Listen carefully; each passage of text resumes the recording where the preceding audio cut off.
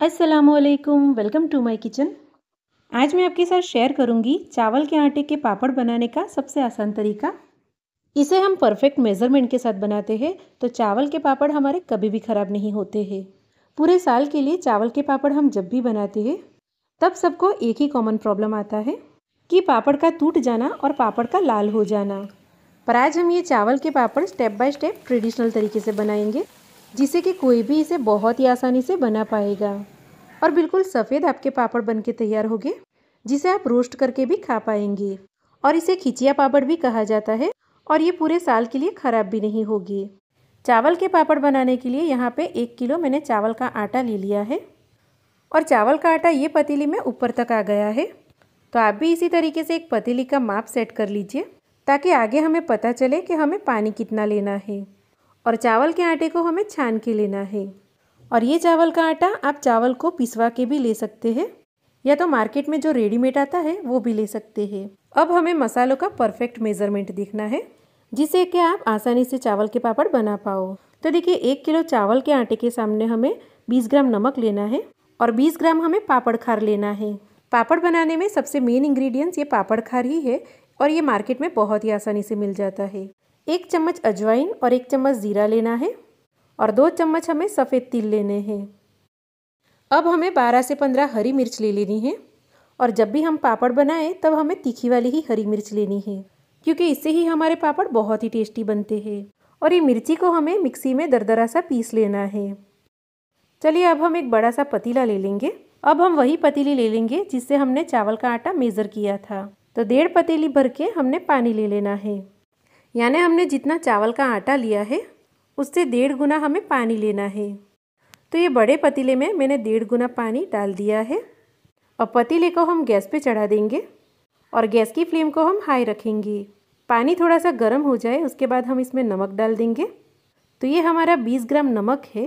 तो इसे हम घर की रेगुलर चम्मच में भरेंगे। तो दो चम्मच हमारा ये नमक होगा। तो 20 ग्राम नमक को आप इस तरीके से मेज़र कर सकते हैं। तो इसी तरीके से हम पापड़ खार को भी चम्मच से मेज़र कर लेते हैं। तो ये पापड़ खार वज़न में बहुत ही हल्का होता है और ये मार्केट में बहुत ही आसानी से मिल जाता है। तो ये भी हमारा दो चम्मच भर के हो गया है। तो नमक और पापड़ खार को हम बराबर से मेज़र करके डालते हैं। तो पापड़ हमारे पूरे साल के लिए कभी भी खराब नहीं होते और पापड़ भी हमारे बहुत ही अच्छे बनते हैं। अब हम अजवाइन और जीरा डाल देंगे और साथ में हम तिल भी डाल देंगे। और हरी मिर्ची को हमें इस तरीके से दरदरा सा पीस लेना है। तो हरी मिर्ची को भी हम डाल देंगे। एक बार अच्छे से हिला लेना है। अब 10 मिनट हम इसे कवर करके उबलने देंगे, जिससे कि ज़ीरा, अजवाइन, हरी मिर्ची, सारे मसालों का टेस्ट पानी में अच्छे से आ जाए। तो देखिए, पानी हमारा उबलना शुरू हो गया है। तो अब हम इसे कंप्लीट 10 मिनट ढककर उबलने देंगे।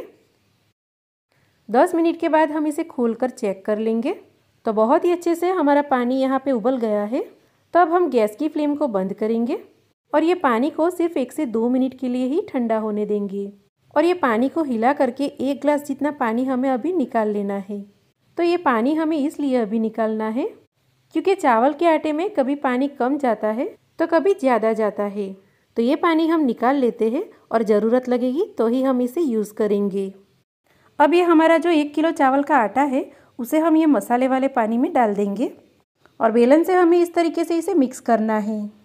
और चावल के आटे को हमें थोड़ा थोड़ा करके नहीं डालना है एक साथ ही हमें चावल के आटे को ये पानी में डाल देना है और फटाफट बेलन से इस तरीके से मिक्स करते जाना है। तो देखिए, आटे में पानी की ज़रूरत लगती है। तो जो पानी हमने निकाल लिया था, वो इसमें डाल देंगे और अच्छे से इसे हिला लेंगे।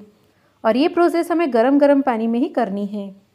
नहीं तो आटे में लम्स पड़ जाएँगे और हमारे पापड़ अच्छे नहीं बनेंगे। तो देखिए, हमारा आटा पानी में अच्छे से मिक्स हो गया है और अभी भी ये बहुत ही गर्म है। तो अब हम एक बड़े से परात में एक प्लास्टिक सीट को इस तरीके से काट के रख देंगे और ये गर्मा गर्म आटा हम इसके ऊपर डाल देंगे। मार्केट में से हम चावल, गेहूँ जिस प्लास्टिक की बोरी में लाते हैं, उसको ही मैंने काट के ले लिया था, क्योंकि इसके ऊपर हम चावल का आटा बहुत ही अच्छे से मसल पाते हैं। तो बस इसी तरीके से हम चावल के आटे को अच्छे से मसल लेंगे और इस तरीके से आटा भी हमें हाथों में गर्म नहीं लगेगा। और मैं ये जो आपको दिखा रही हूँ, बस ऐसे ही आपको भी आटे को मसलना है। तो देखिए, चार से पाँच मिनट मैंने इसे अच्छे से मसल लिया है। तब हम हाथों में थोड़ा सा इस तरीके से तेल लगा लेंगे और थोड़ा सा आटा हम इस तरीके से हाथों में ले लेंगे और इस तरीके से थोड़ा इसे दबा के बीच में इस तरीके से हॉल कर देना है और इसी तरीके से हम सारे आटे को रेडी कर लेंगे। तो देखिए, सारे आटे की इस तरीके से मैंने बड़ी बड़ी लोई बना ली है। तो अब हमें इसे स्टीम करना है। तो उसके लिए मैंने यहाँ पे बड़े पतीले में इस तरीके से पानी गर्म करने रख दिया है। पानी थोड़ा सा गर्म हो जाए, उसके बाद हमें इस तरीके से स्टैंड रख देना है और इसके ऊपर हम एक प्लेट रख देंगे। अब पानी हमारा अच्छे से उबलने लगे, उसके बाद हमने ये जो लोई रेडी कर ली थी, इसे हम इस तरीके से रख देंगे और इसे हमें पूरी 25 मिनट तक स्टीम करना है। इसलिए पानी हम थोड़ा ज़्यादा ही रखेंगे और अभी मैंने आधे हिस्से की ही लोई इसमें रखी है। तो चलिए अब हम इसे कवर करके 25 मिनट तक स्टीम कर लेते हैं और गैस की फ्लेम को हाई रखना है। 25 मिनट के बाद हम चेक कर लेंगे। तो आप आटे का कलर देख सकते हैं। पहले से ये थोड़ा चेंज हो गया है। यानी आटा हमारा अच्छे से स्टीम हुआ है। और अगर आपको समझ में नहीं आता है कि आपका आटा अच्छे से स्टीम हुआ है या नहीं तो इस तरीके से लोई को तोड़ के देख लेंगे। तो अगर हमारा आटा अच्छे से स्टीम नहीं हुआ होगा और कच्चा होगा तो बीच में यहाँ पे आपको आटा सफ़ेद कच्चा दिखेगा। पर अभी आप देख सकते हैं, हमारा आटा अच्छे से स्टीम हो गया है। तो ये आटे को हमें फिर से मसलना है। तो फिर से हम वही प्लास्टिक सीट पे ये सारा आटा हम डाल देंगे और थोड़ा सा हम इस तरीके से तेल डाल देंगे। अब ये गर्मा गर्म आटे को हमें फिर से इस तरीके से मसल लेना है। तो चावल का आटा अच्छे से स्टीम होना बहुत ही ज़रूरी है। अगर आपका आटा अच्छे से स्टीम नहीं हुआ होगा तो पापड़ बनाने के बाद वो फट जाते हैं और पापड़ में क्रैक आ जाती है। और ये गर्मा गर्म आटे को इस तरीके से मसलना भी बहुत ही ज़रूरी है। मसलने से हमारे पापड़ क्रैक बिना के बहुत ही अच्छे बनते हैं। तो देखिए, दो मिनट के बाद मेरा आटा अच्छे से मुलायम हो गया है।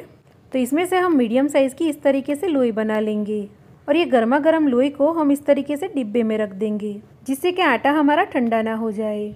तो देखिए, यहाँ पे सारी लोई मैंने बना ली है। तो चलिए, इसमें से अब हम पापड़ बेल लेते हैं। तो इसमें से हम एक लोई ले लेंगे और दूसरी हम ढक के रख देंगे। अब एक प्लास्टिक सीट को इस तरीके से गोल काट के ले लेंगे और इसके ऊपर हम थोड़ा सा इस तरीके से तेल लगा लेंगे। अब लोई रख के बेलन पे थोड़ा सा तेल लगा के पापड़ बेलेंगे। तो देखिए, मैं आपको ये जो दिखा रही हूँ, इस तरीके से बेलन को आपको घुमाते जाना है। किनारों पे हम इस तरीके से बेलन को घुमाएँगे तो पापड़ बड़ा होता जाएगा और किनारे भी पतली रहेगी। तो देखिए, बहुत ही आसानी से हमारा पापड़ बन गया है। तो ये प्लास्टिक के साथ ही हम पापड़ को उठा के प्लेट पे इस तरीके से रख देंगे और प्लास्टिक निकाल के दूसरा पापड़ भी इसी तरीके से बेल लेंगे। और अगर आपको पापड़ रोस्ट करके खाना है तो पतला बेलना है। और फ्राई करके खाना है तो पापड़ को थोड़ा ठीक बेलना है। तो इस तरीके से पापड़ हम बनाते जाएँगे और एक के ऊपर एक रखते जाएँगे। तो देखिए, सारे पापड़ मैंने बेल लिए हैं। तो अब पापड़ को हम प्लास्टिक के सीट के ऊपर सुखा देंगे। और पापड़ को हमें बहुत ज़्यादा तेज़ धूप में नहीं सुखाना है। पापड़ को हमें एक दिन के लिए घर में ही पंखे के नीचे या तो छाँव में सुखाना है। तो चलिए, इसी तरीके से हम सारे पापड़ को सुखा लेंगे। तो देखिए, एक दिन के बाद मेरे पापड़ बहुत ही अच्छे से सूख गए हैं। एक दिन घर में अच्छे से सूख गए। उसके बाद एक घंटे के लिए मैंने इसे धूप में रख दिया था। धूप दिखाने से हमारे पापड़ एक साल के लिए अच्छे रहते हैं। सूखने के बाद पापड़ को हमें कॉटन के कपड़े से साफ़ कर लेना है, ताकि ऊपर का जो ज़्यादा तेल होता है वो निकल जाए और धूल मिट्टी वगैरह भी साफ़ हो जाए। तो देखिए, आप देख सकते हैं, बहुत ही अच्छे हमारे चावल के पापड़ बने हैं और एक भी पापड़ हमारा फटा नहीं है। तो ये पापड़ को हम एक साल के लिए डिब्बे में भर के स्टोर कर सकते हैं। तो चलिए अब हम इसे फ्राई कर लेते हैं। तो देखिए, हमारा पापड़ फूल के डबल हो गया है और पापड़ हमारे दूध जैसे सफ़ेद बने हैं। तो आप ये चावल के पापड़ को फ्राई करके भी खा सकते हैं और इस तरीके से गैस के ऊपर रोस्ट करके भी खा सकते हैं। तो अगर आप साल भर के लिए स्टोर करने के लिए चावल के पापड़ बना रहे हो तो एक बार मेरे ये तरीके से आप ज़रूर से बनाना। आपके चावल के पापड़ दूध जैसे सफ़ेद और क्रिस्पी बनेंगे और साल भर के लिए चावल के पापड़ ख़राब भी नहीं होंगे। और ये इतना आपको आसान लगेगा कि हर साल आप इसी तरीके से बनाओगे। तो आज की मेरे पापड़ की रेसिपी आपको अच्छी लगी हो, पसंद आई हो तो वीडियो को ज़रूर से लाइक और शेयर कर दीजिएगा। और अगर आप मेरी चैनल पर नए हो तो मेरी चैनल को ज़रूर से सब्सक्राइब भी कर दीजिएगा। तो चलिए मिलते हैं एक नई रेसिपी के साथ। तब तक के लिए अल्लाह हाफिज़। Happy cooking.